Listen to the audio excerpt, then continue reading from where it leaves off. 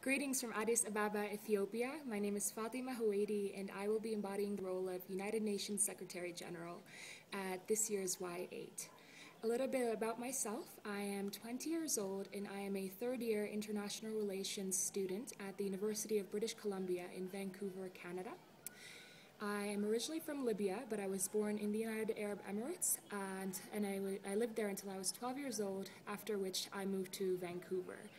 Currently, I'm in Addis Ababa conducting some research with a seminar class I'm taking, and what my specific group is focusing on is the African Union's conflict management structure within the framework of the United Nations.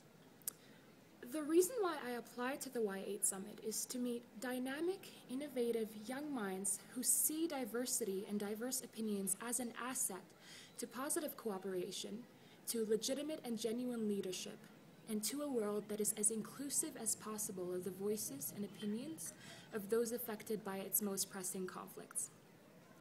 So, with that being said, uh, the top issues that I aim to promote and pursue at the summit are number one, the United Nations post 2015 development agenda, number two, the pressing crisis in Syria, number three, redefining aid dynamics, and number four, engaging with post conflict nations currently in political transition.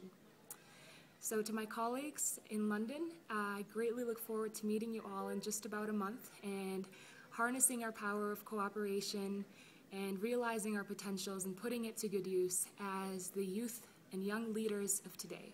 See you all soon.